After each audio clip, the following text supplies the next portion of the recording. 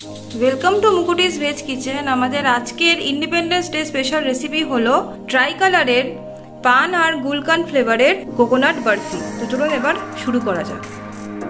প্রথমে একটি পাত্রে দুই চায়ের চামচ ঘি দিয়ে দেবো। এর মধ্যে এক কাপ কোরানো নারকেল দিয়ে দেবো। ঘিয়ের মধ্যে এই কোরানো নারকেলটাকে ভালো করে ভেজে নেব। দু তিন মিনিট মতন ভাজা হয়ে গেছে। এবার এক কাপ পোড়ানো নারকেলের মধ্যে আমি প্রায় হাফ কাপ মতন কনডেন্স মিল্ক দিয়ে দেবো। এবার ভালো করে মিক্স করে নেব। ভালো করে মিক্স করে নিয়েছি। এবার যেহেতু কনডেন্স মিল্কের মধ্যে চিনি থাকে যে আলাদা করে আমি চিনি অ্যাড করব না।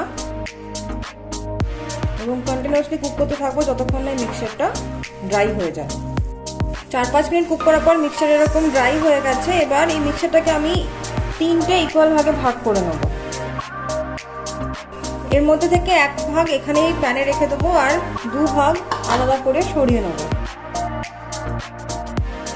এবার এই যে পাটটা আছে, এটাকে আমরা আবার একটু কুক করে নেব এবং এর মধ্যে দুই থেকে তিন ড্রপ এলাচের এসেন্স বা এলাচের গুঁড়ো দিতে পারেন। ভালো করে মিক্স করে নেব।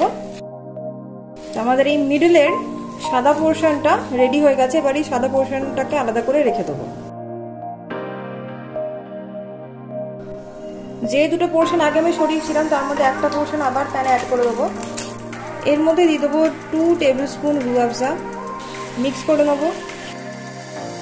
আর কিছু ড্রাই রোজ পেটোকে খুব ফাইনলি চপ করে এই মিক্সচারটার মধ্যে অ্যাড করে দেবো। আপনারা চাইলে এর মধ্যে গুলকন্দ দিতে পারেন।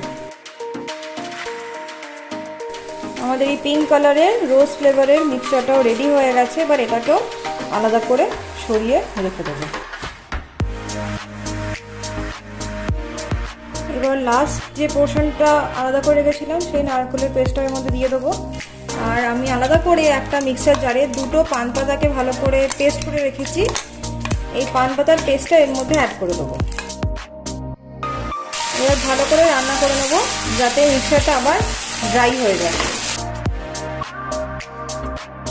আমাদের গ্রিন পান ফ্লেভারের পেস্টটাও আলাদা করে রেখে নিলাম প্রথমে যে কোনো একটা স্কোয়ার পাত্র নিতে হবে এবং এর গায়ে ভালো করে ঘি মাখিয়ে নিতে হবে। এর মধ্যে প্রথমে এবার আমাদের গ্রিন পেস্টটা দিয়ে দিতে হবে। গ্রিন পেস্টটা দিয়ে ভালো করে ইভেনলি স্প্রেড করে দেবো। গ্রিন লেয়ারটা ভালো করে সেট হয়ে গেছে। এর ওপরে এবার সাদা লেয়ারটা দিয়ে আবার স্প্রেড করে দেবো।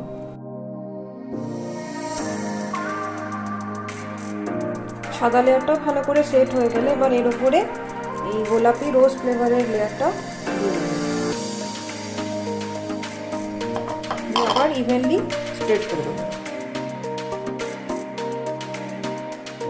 আমাদের তিনটে লেয়ার ভালো করে সেট হয়ে গেছে। সাইড থেকে দেখতে পাচ্ছেন যে কীরকমভাবে তিনটে লেয়ার সেট করেছি। এবার এটাকে মিনিমাম চার থেকে পাঁচ ঘণ্টার জন্য ফ্রিজে সেট হতে রেখে দেবো।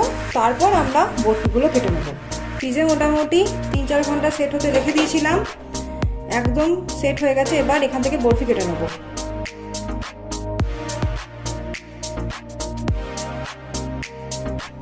আমাদের আজকের ইন্ডিপেন্ডেন্স ডে স্পেশাল রেসিপি পান আর গুলকান ফ্লেভারের কোকোনাট বরফি রেডি হয়ে গেছে।